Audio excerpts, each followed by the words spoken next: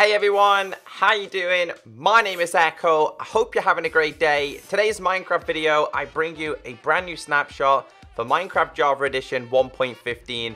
This is snapshot 19W37A, mainly focusing on bug fixes and a couple of parity changes coming from Bedrock to the Java version, very similar to what happened in last week's snapshot, but stick around until the end of today's video because a couple of people have been doing a little bit of digging into the latest snapshot and there is a hint of the possibility of a cave update or a nether update being the next major update for Minecraft. Alright guys, let's go into game and let's go through the changes. So usually the parity is working the other way, it's Bedrock getting the Java features. Now in case you guys didn't know, and I covered this in last week, the snapshots and how they work, so that's 19 for 2019. We are currently in week 37 of 2019, and it's the first snapshot, which is why it's A.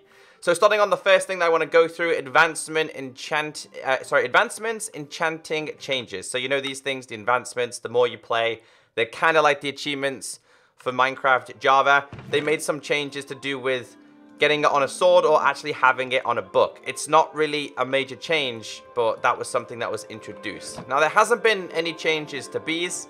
Again, everybody's asking about the size. It looks like these are actually going to be staying.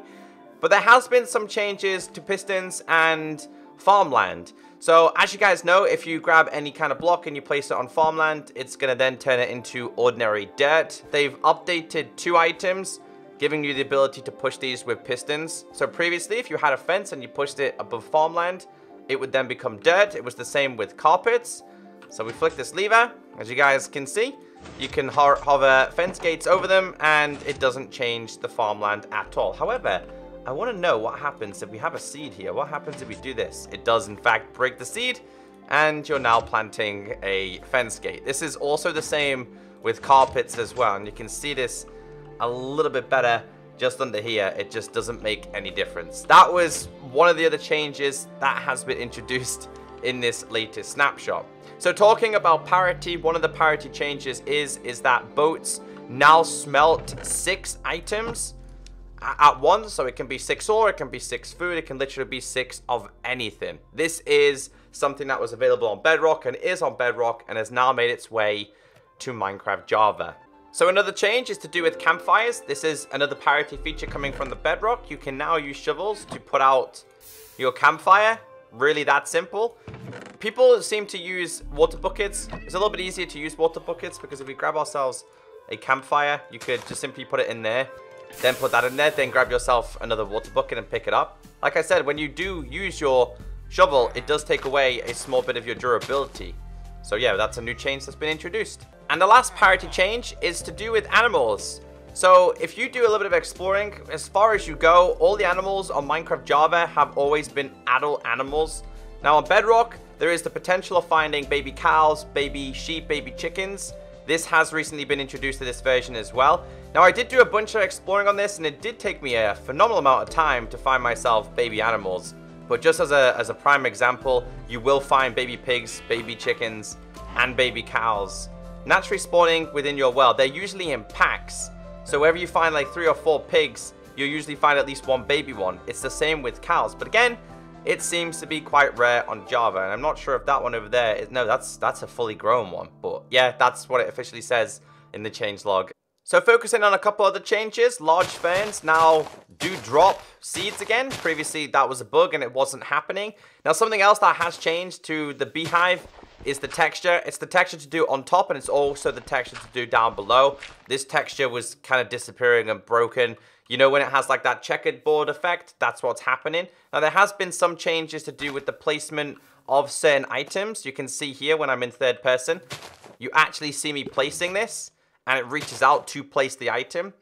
Previously, nothing happened. It didn't make any movement. There's been a bunch of changes with this. There's also been changes to the Eye of the Ender. Whenever you throw this thing, your arm actually moves now, rather than just being still and not making any kind of movement. There's also been a fix with the Enchanted Silk Touch book.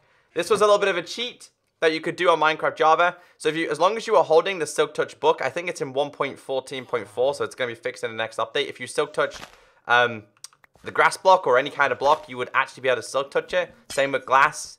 Yeah, they took that away from us. You can no longer do that. So the last thing I want to talk about in today's video is what I mentioned at the start, the potential of the next update being a cave update or a nether biomes update. Now this information is coming from somebody on social media known as gnembon, who tweeted this saying, one thing I learned from updating Carpet to 19W36A is that since now the game is supporting 3D biome layout, Cave update, nether biomes, question mark, who knows. Officials didn't confirm that, but didn't deny that either. That's only my suspicion.